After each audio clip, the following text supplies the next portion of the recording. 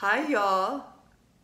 Have you heard of heart rate variability, HRV? You might have, or if you have not, you might be living out under a rock. I'm not sure. But it is like the newest, trendiest, but also the most relevant biomarker or kind of glimpse into your overall wellness. Um, heart rate variability is, I like to say, the range of motion of your nervous system and how it's able to go up and come back down. There's, it's, heart rate variability is the variation between your heartbeats and you know what influences this is your nervous system is your sympathetics and parasympathetics. So I want you to think of heart rate variability sort of along the lines of the capacity of the parasympathetics to restore function, to bring back to midline. And that kind of makes sense, right? Because if we're in that fight or flight mode or that work mode or that go mode, like working out, performing at the office or at, you know, in a career, then we've got to be on it. We've got to be, you know, having our sympathetics kind of dominate.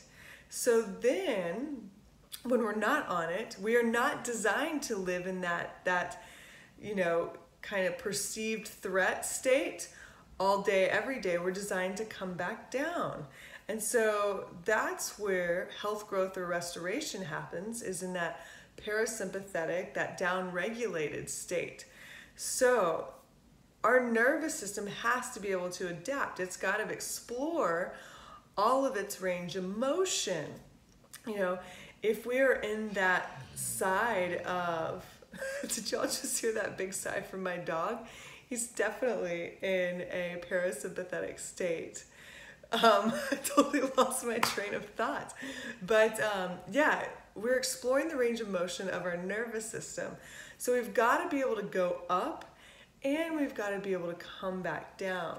So heart rate variability, variability, you know, it's highly individualized, fluctuates greatly. We use it at BirthFit. I love this this this number. And here at BirthFit, I like to say we embrace science and intuition.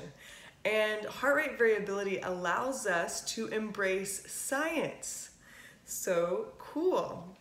So we recently have partnered with a company called Whoop, and this is one of the Whoop bands. It's a uh, performance recovery band, and it measures things like heart rate variability, measures things like respiration rate, um, sleep, resting heart rate, intensity or strain, strain of your workout, and it does that by using the rate of perceived, the Borg's rate of perceived exertion scale, which is pretty damn cool because we use that before even partnering with Whoop.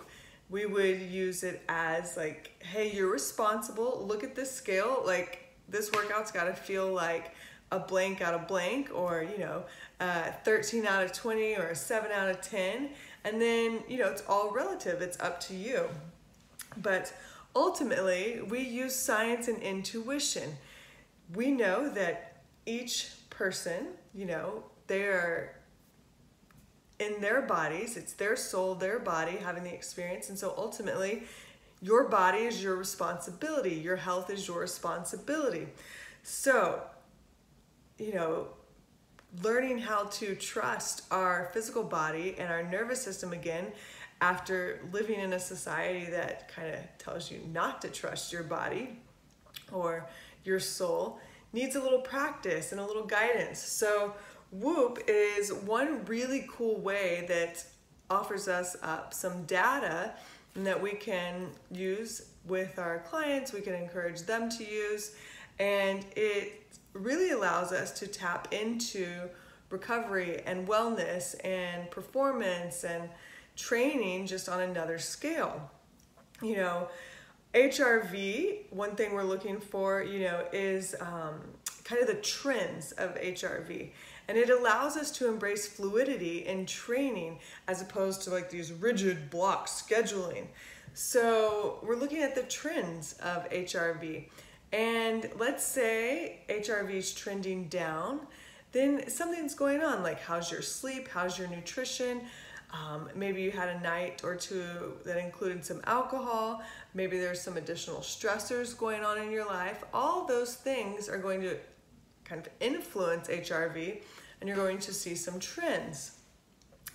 You know, on the opposite, if HRV is trending up, then this is a time to say, you know, okay, if you're feeling good, your energy is matching what, you know, the HRV trend is showing and you've had a really good night's sleep and your recovery's in the green, then maybe today is a day to go for those high intensity intervals or it's a day to go for, you know, a heavy lift or go for a record, maybe a long or a hard run, anything along those lines. So we pay attention to the trends because that gives us permission to embrace fluidity inside of training. It allows us to use the feminine energy inside a masculine energy dominated kind of realm, you know, that training usually is. Because I love it all. I love both masculine and feminine energy and being able to embrace fluidity while also being able to push myself and evolve my physical body. So, HRV, I hope um, I've given you some insight into it, and I hope you kind of take it and dive into your own HRV and its trends. And just think of it as a snapshot, and you know, each day you get a little more data, but it's a kind of snapshot, a glance into your nervous system and how adaptable it is. The range of motion of your nervous system, which allows us to embrace science and intuition. All right, bye, y'all.